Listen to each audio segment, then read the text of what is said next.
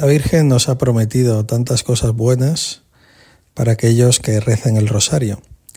Por eso en este mes de octubre, mes del rosario, conviene recordar que no es algo solo ¿no? que decimos los cristianos, de vez en cuando es gracioso porque van saliendo estudios en los periódicos de cómo pues van haciendo estadísticas y resulta que las personas que más rezan pues mm, luego tienen mejor salud tanto del alma como del cuerpo.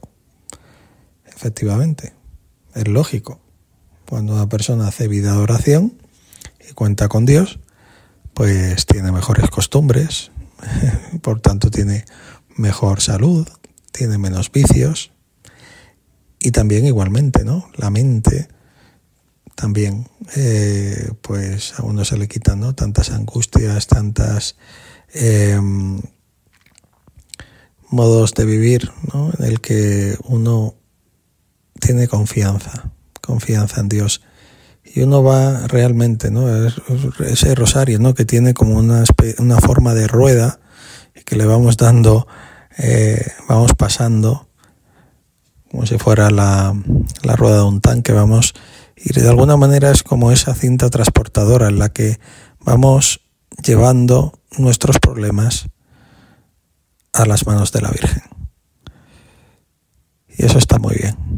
Eh, por medio del rosario, decía también Benedicto XVI, el poder casi relajante del rosario. Hay muchas formas de relajarse, eh, pero eh, una simplemente es en hacer silencio, ¿no? En, o en ponerse música, pero mucho más relajante saber que tenemos un padre y una madre en el cielo que va a cuidar de nosotros. Y eso también se lo vamos diciendo y recordando a María por medio del Santo Rosario. Por eso nos tiene que motivar muchísimo. Decir, venga, que no falte ni un día a este encuentro con María. Que también recemos el rosario todos juntos. Antiguamente había una frase de que la familia que reza unida permanece unida. Y a veces yo lo escuchaba a veces con un tono así como casi de broma. Y mm, probablemente que mejor podemos desear que la familia esté unida.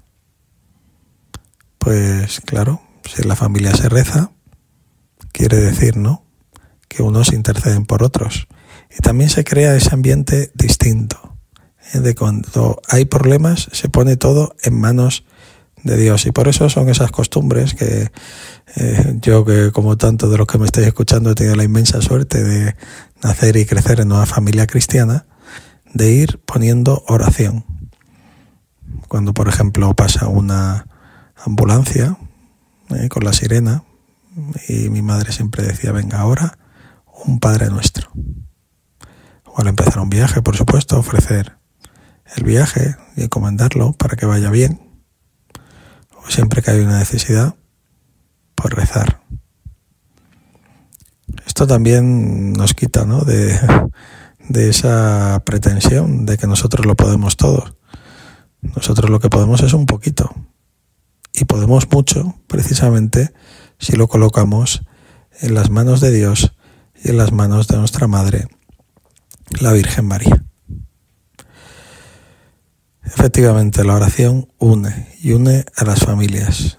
Decía San Juan Pablo II en esa carta preciosa sobre el rosario, que el rosario producía el mismo efecto que vemos en todas esas bolitas que están tan juntitas, tan pegaditas la una a la otra.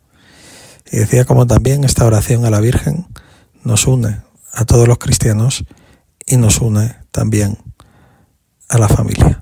Por eso la Iglesia, que es sabia, pues concede esa indulgencia plenaria por rezar el rosario. Pero no solo por rezar el rosario, tanto si uno lo reza delante del Santísimo Sacramento de un sagrario, hay indulgencia plenaria. Pero también si uno reza el rosario con algún miembro de su familia, entonces también se gana esa indulgencia plenaria. La Iglesia quiere que la familia recemos juntos. Qué bueno es quitar esos complejos, esos complejos que no tienen ningún sentido de, rezar. ¿Qué mejor podemos hacer que rezar? que mejor podemos hacer que interceder unos por otros.